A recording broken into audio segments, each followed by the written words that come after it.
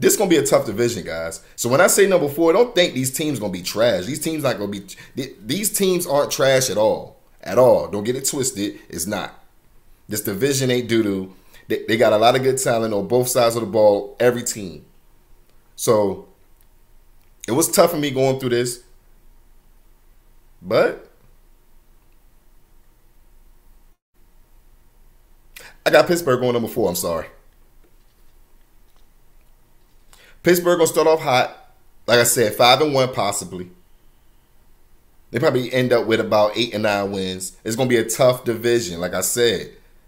Tough division. The whole AFC is tough. Pittsburgh gonna end up in four. I got Cincinnati. I'm sorry. I'm sorry. Their defense is gonna take a huge step back for me. Like I said, Jessie Bates, shout out to that guy. He's a centerpiece in that locker room. I feel like they're going to miss a lot. You know what I'm saying? From his leadership, playmaking skills, calling out the defense, all that.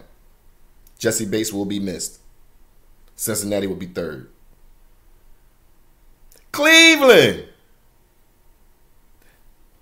Cleveland.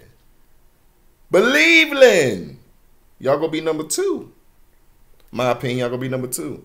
Fighting for that uh, wild card spot. And number one, let's talk about the Baltimore Ravens, can we?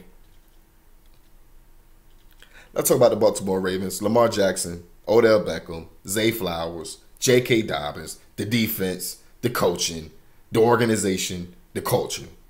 Baltimore. Number one, I ain't gonna say number one seed. Nah, I ain't taking it that far.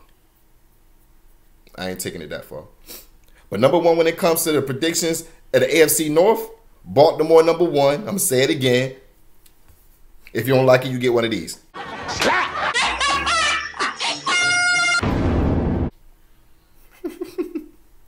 Baltimore number one.